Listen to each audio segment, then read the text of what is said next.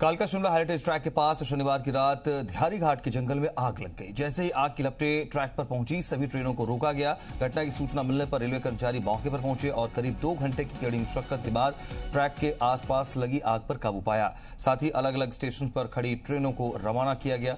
शनिवार की दोपहर आपको बता दें कि बड़ोग रेलवे स्टेशन के पास भी जंगल में आग लग गई थी और इस दौरान भी आग की लपटें ट्रैक तक पहुँची थी।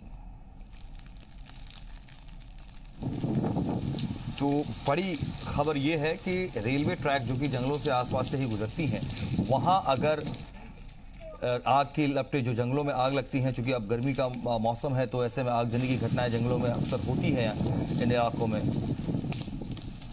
और इसके बाद आग की लपटे ट्रैक तक पहुँचने लगी हैं तो ये एक चिंता का विषय, गंभीर विषय ज़रूर है।